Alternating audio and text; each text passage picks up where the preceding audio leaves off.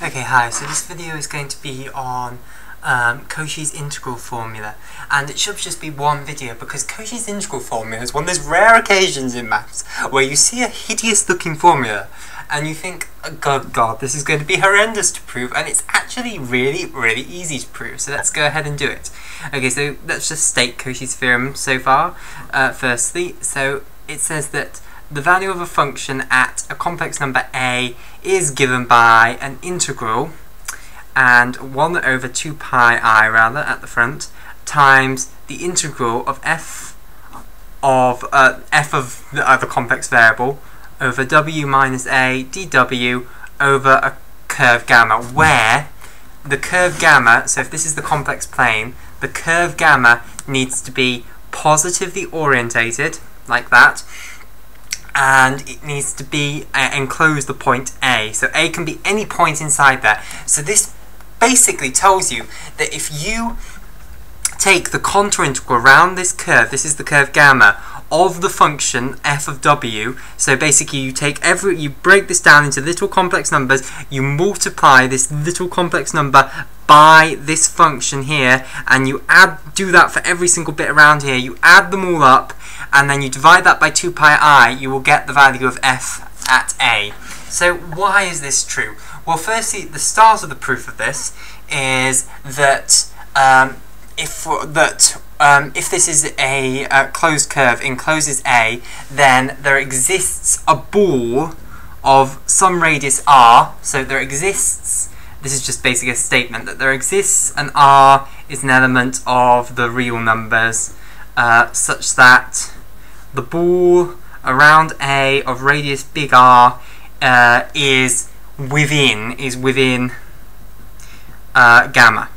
Okay, so, and the other thing to note is that any ball of uh, radius less than or equal to big R is also contained within um, within um, the curve gamma. And then we use Cauchy's theorem to say that, ooh, what's the problem with the camera? It's not doing very well this evening, is it? No, what's wrong with your camera? Hmm, I'm sorry about that. I don't know if I can do anything about it. It's very blurry. Okay, anyway, um, I will try not to touch it. Okay, so, um, so, where was I? So, um, there are, if you take a little r that is less than or equal to big R, then all of those balls around A, all of those open disks, will also be contained within gamma. And by Cauchy's theorem, if the contour integral around this one is equal to the contour integral around this one, and is also equal to the contour integral around any of the little balls inside that, and you should be able to see that those little balls, we can get make them as small as we want. So that starts to tell you that maybe there's going to be something in this.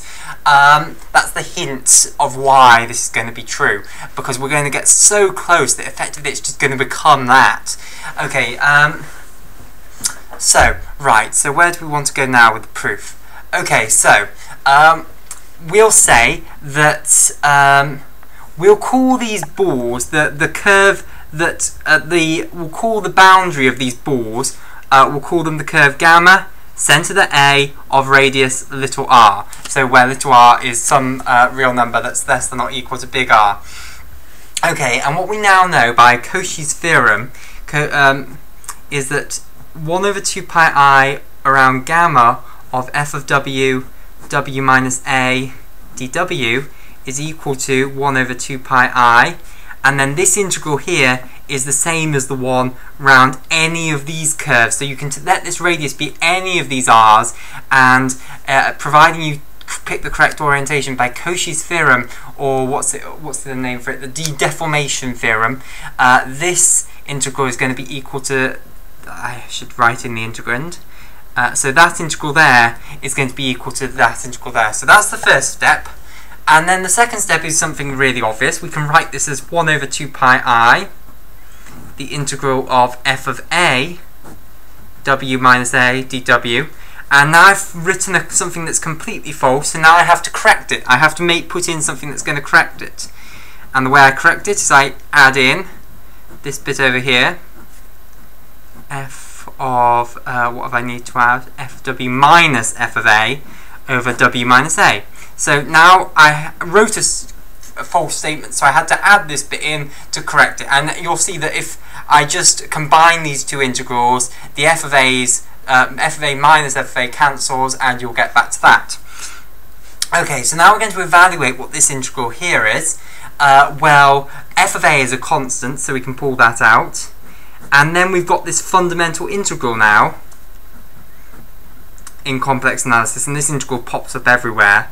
So we know, th so that's basically saying uh, take the um, reciprocal function centered around a and take a curve that's positively orientated around it. And we know of course that the answer to that is 2 pi i. That if you do this integral uh, that you get 2 pi i. Therefore this integral adds up to f of a. So that's just that bit uh, that should say that's not that. Okay so now what we want to do is we want so we now know that 1 over 2 pi ooh, 1 over 2 pi i the integral of f of w over w minus a over gamma dw is equal to f of a minus 1 over 2 pi i the integral of f of w minus f of a over w minus a dw over integrated over the uh, closed uh, curve gamma uh, centre a of radius r.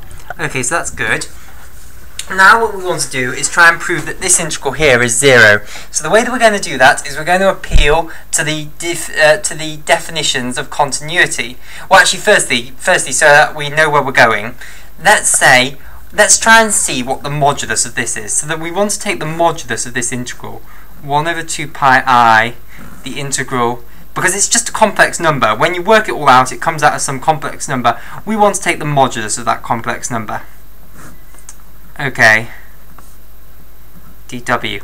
Now, it's a what we can say that this is going to be less than, well, it's going to be less than the length of this circle of the um, contour we're going around, uh, more, uh, because, right, so we want to try and bound what this modulus is going to be. So when you do a contour integral, you can think of it as you've broken the contour up into those of tiny little, oh, you can't see the picture, I'll redraw it down here. If you're doing a contour integral, that's just how on any curve, then we split it up into tiny little increments of complex number, and at this point there's some, uh, the function maps you onto another complex number, and then what we're effectively doing is taking this tiny little increment of complex number, we're multiplying it by another complex number, which corresponds to either to rotating it by some amount, and stretching it out by some amount. So the complex number that we map this point here onto will have a modulus and it will also have an argument. So we're going to rotate this little increment of complex number around and we're going to stretch it out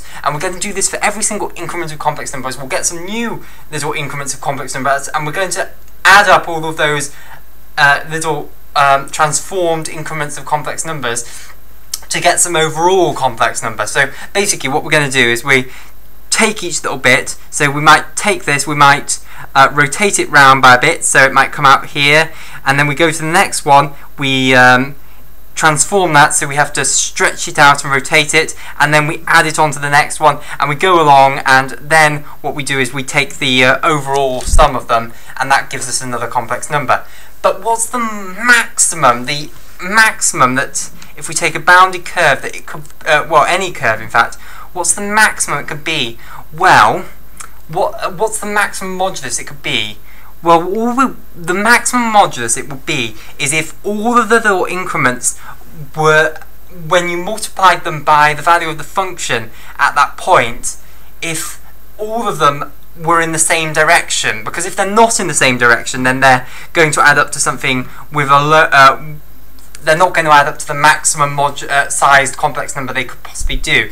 So they all have to lie in the same straight line, and then we're going to get the maximum modulus. So what we want is we want the complex number of max. Um, so we want all of the. Uh, so the maximum the modulus this could int this integral around this closed curve could ever have is going to be the length of this curve times the modulus of the maximum complex number that's along this contour uh, the function maps you onto because if you there's some maximum value this integrand takes on the um, closed curve we're trying to integrate it over. We want that it if we multiply that one by the length of the contour, then that's the absolute maximum modulus that the integrand could take because that says all of the little increments are going to be stre stretched by the maximum amount they can be stretched and they're all going to align themselves in exactly the same direction. That's the maximum modulus that this integrand could ever hope to have. Okay, I'm going to cut the video there because I think the camera will uh, start stop recording sound if I go on any further.